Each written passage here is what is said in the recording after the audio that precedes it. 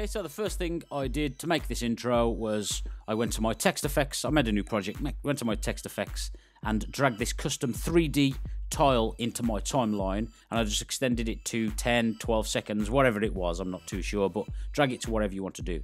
And then we're going to go up to our inspector, we're going to go to our text tab and we're going to change our text to what we want it to read. Then after we've done our text, we simply change our font, which is just below in the basic. And then after we've selected our font, then we go on and mess around with our 3D texts inspector. So let's have a look at that a little bit more closely. So as I mentioned, I'm going to go in and I am going to change my um, to my font to whatever I um, to whatever I wanted to do, whatever I wanted to be, should I say? And um, I just chose something that, that, that was sort of spaced out a little bit. Like, like um, there's a there's a nice um, kerning between, nice gap between the the texts. And then I went in and changed the depth on my 3D text, as you can see on my inspector, and I changed it up to about 50 um, just so it gives a little bit more of a 3D feel. And then I went in and changed my bevel to this ridge because it just suited the text. So try and find something that um, that sort of uh, sort of suits the text. And drag down, change material for this text and this bevel. I um, I decided to go with a metal and um, the metal I decided to go with was copper. And the reason I um, decided to go with copper is because it's got a nice basic default lighting and shadow effect on the side of the 3D texts, as you can see by the three on my um, on my text. And then I just drag the shininess up to around just over 54%. Okay, now I'm going to go over to my effects generator um, highlight it, and I'm going to go into my search at the very bottom of my effects generator and type in radial or rad, and I will get this radial come up, and I'm just going to drag and drop that onto my timeline, like so. Okay, so let's move on to the um, a little bit, bit of a difficult bit, and this is keyframing our effect. Let's go into our video so we can see our actual radial effect. And then what I'm going to do, I'm going to make sure my timeline is at the start, like so and then I'm going to drag the amount up and click this little plus button, which is a keyframe. And then going to move up to around a second in my timeline. But if you want to sp speed the effect or slow the effect, either um, shorten the length of time or lengthen the length of time, respectively, to what you want to do.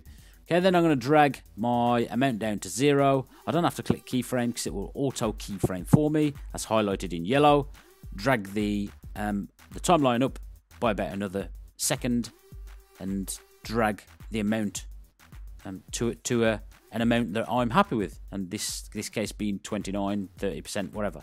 Um, move the key and uh, move the timeline again. Again, it will auto keyframe, and then drag the amount down. And then I'm just going to continue this motion up again another uh, a second or so, dragging the amount up to my liking. Then again, down the way, and like I said, it will auto keyframe. And just keep doing this for the duration of your 3D text effect. Okay, next I'm going to go into my transitions browser right over here. I'm going to go to my search, and I'm going to type in um, zoom in my search.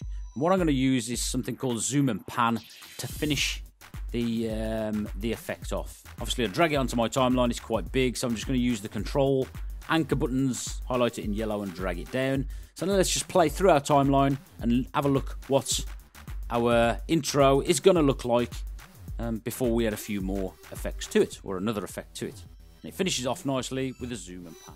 Okay, so we're back at the start of our timeline, drag our timeline like so, and I'm manually going to move through my timeline until my effect is back to zero. So when when it's when the effect looks back to normal, and then I'm going to highlight the effect, the 3D effect in my timeline and press Command and B, and this will cut um, the the effect or the, the, the 3D text down. And I'm then going to move manually along my timeline again until it's back to zero.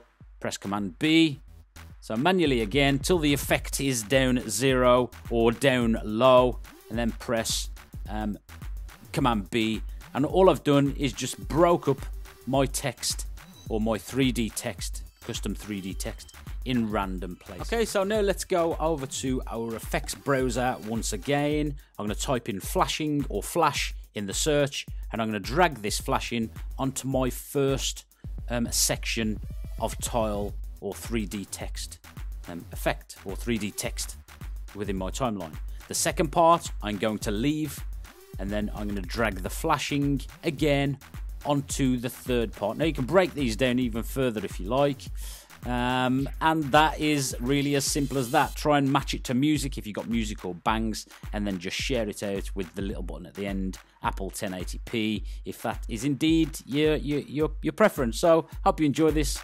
Um, really easy intro. Have a good time. Catch you later.